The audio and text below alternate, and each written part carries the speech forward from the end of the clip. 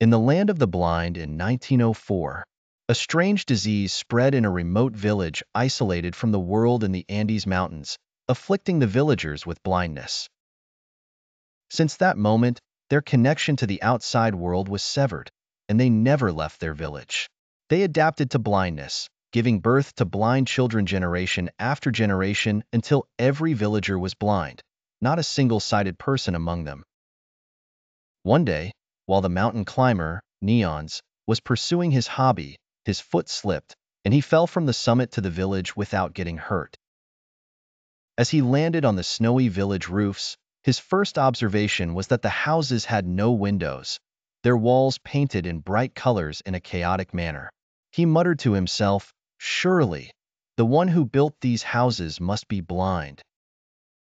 As he ventured into the village center, he started calling out to the people, noticing that they passed by him without acknowledging him. Here, he realized he was in the land of the blind. He approached a group and began to introduce himself, questioning who he was and the circumstances that led him to their village. How could the people in his country see? As soon as he uttered the word, he felt the danger of the problem and was bombarded with questions. What does seeing mean? How do people see? The crowd mocked him, starting to laugh.